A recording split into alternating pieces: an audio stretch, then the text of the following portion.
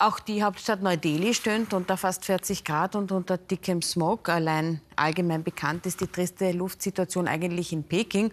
Und anderen Großstädten Chinas weniger bekannt ist, dass es in Delhi noch viel schlimmer ist. Und anders als in China setzt sich die Regierung in Indien ungebremst für den Vorrang des Wirtschaftswachstums ein, berichtet aus Neu-Delhi Raimund Löw.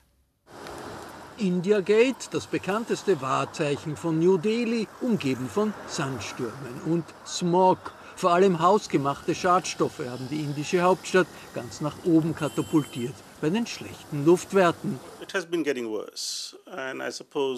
Die Luftqualität wird schlechter, nicht nur in Neu-Delhi, sondern in vielen Städten. Immer mehr ungesunde Partikel kommen in die Luft. Wenn eine Gesellschaft reicher wird, ist das normal. Eine Besonderheit Indiens sind die Millionen Obdachlosen, die sich auf freien Feuerstellen ihre Mahlzeit bereiten. Tausende Ziegelbrennereien stoßen ungefiltert ihre Abfälle in die Luft. Für die Regierung steht das Wirtschaftswachstum im Zentrum, um Anschluss zu finden an die aufstrebenden Regionen Asiens.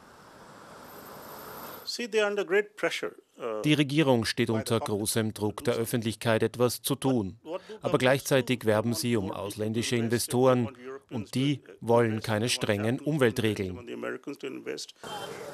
Während im fernen China Umweltschutz immer stärker ins Zentrum rückt, will die Regierung in Indien alles unterlassen, was die Fabriksproduktion bremsen könnte. New Delhi gilt eigentlich als grüne Stadt, hat aber an vielen Tagen die schlechtesten Smogwerte in Asien. Die Regierung drängt auf rasches Wachstum der Wirtschaft. Sie nimmt die schlechte Luft in Kauf, obwohl die Umweltschäden in Indien längst die Grenze des Erträglichen überschreiten. Noch schlimmer als in der Luft ist die Umweltzerstörung bei Indiens Flüssen. Die Kläranlagen der Hauptstadt sind defekt. Nahezu ungebremst fließen die Abwässer in den Yamuna-Fluss. Der Fluss ist heilig, er mündet in den Ganges. Direkt am Ufer die traditionelle Feuerbestattung der Toten. Der Fluss bringt die Asche zum Ganges.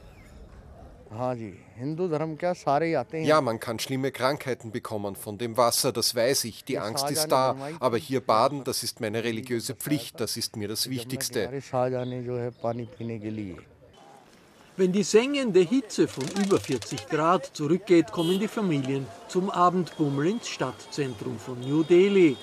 Die Umweltverschmutzung ist schlimm, aber die Kinder müssen einfach heraus. Das Atmen ist oft schwer und Asthma nimmt zu.